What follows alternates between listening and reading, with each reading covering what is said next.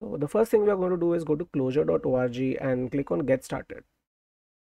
Um, you should definitely be reading all this, but let's just go down and come to installation on Linux.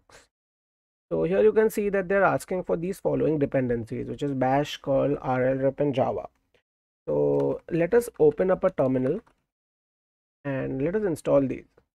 So let's do sudo apt install bash space curl rlwrap and put in your password. If you want to continue, yes, and let that happen.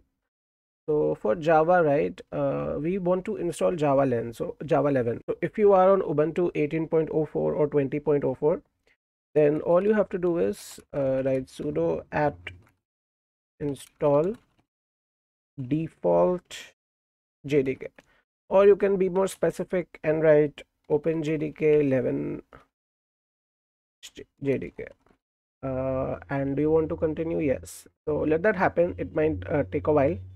But once that is done uh, we'll have all the dependencies installed.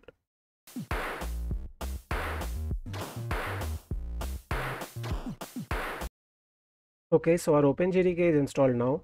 Let's just check uh, if java executable is present. And you can see we have the 11th uh, OpenJDK 11 installed once uh, that is done we need to uh, copy paste these three lines of code over here to install Clojure and the Clojure command line tools. So let's launch Clojure CLJ and just give it a second. It might uh, take a bit time because it's going to be downloading uh, the necessary uh, libraries. And once that is done, uh, you will be left with a prompt. So now we can just write something string hello world. And that's it. We have Clojure installed and working on our system.